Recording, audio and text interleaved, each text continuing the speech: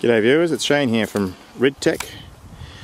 We've had a bit of chatter this week about Asian hornets and European hornets. We've got a European hornet's nest right here. I just wanted to show you. You can see these are quite yellowy and they're quite large.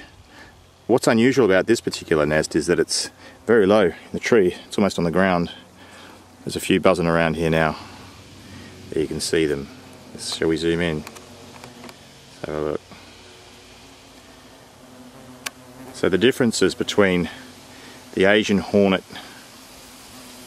and the European hornet is that the Asian hornet is dark in colour, black, black thorax, with a yellow band at the back of it, whereas the European hornet is very yellowy, very, very yellow all over, almost a reddy brown colour, larger than the Asian hornet.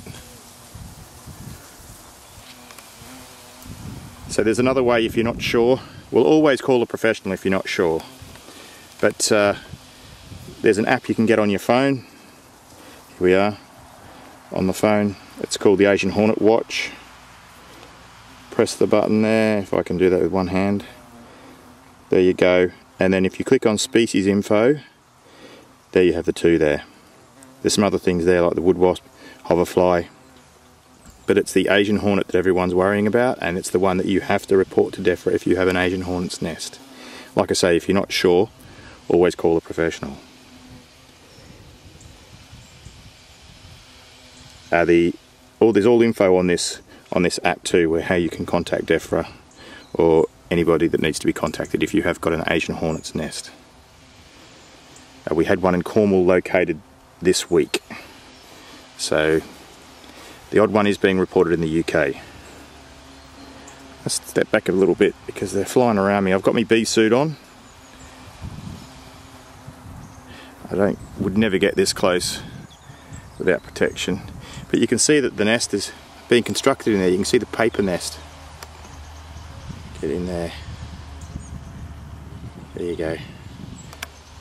There's normally a sentry on guard, which there is. Just there and I've got a few checking me out. Here we go.